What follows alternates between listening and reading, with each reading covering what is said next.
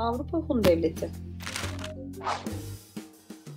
Hazar Denizi kuzeyinden Avrupa'ya doğru göç eden Batı Hunları, Karadeniz kuzeyinde yaşayan Cermen kavimlerini göçe zorlamıştır.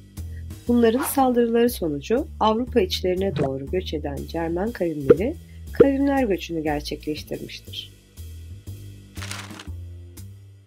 Kavimler göçü sonucu Avrupa siyasi kargaşa içine girmiş, Roma İmparatorluğu Doğu ve Batı Roma olarak ikiye ayrılmıştır. Hristiyanlık da buna bağlı olarak iki temel mezhebe bölünmüştür. Katolik ve Ortodoks mezhepleri ortaya çıkmıştır.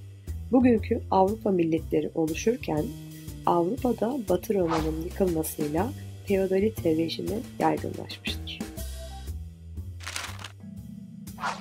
Sosyal eşitsizliğin olduğu feodal sistemde halk bir derebeyine bağlıdır ve onun topraklarını ekip biçer.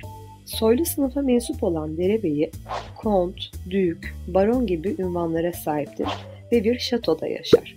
Feodal sistem Orta Çağ boyunca Avrupa'da siyasi kargaşaya yol açmıştır.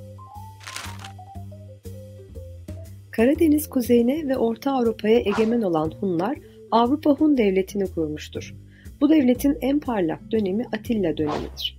Atilla'ya Cermenler destanlarında Tanrı'nın kırbacı demişlerdir.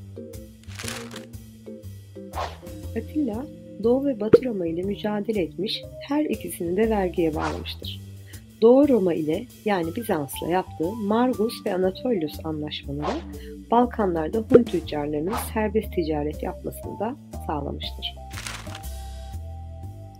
Avrupa Hunları Atilla'nın ölümü sonrası veraset sisteminden kaynaklı taht kavgaları sonucu yıkılmıştır. Türk kültürünün Avrupa'ya aktarılmasında önemli bir yere sahiptir.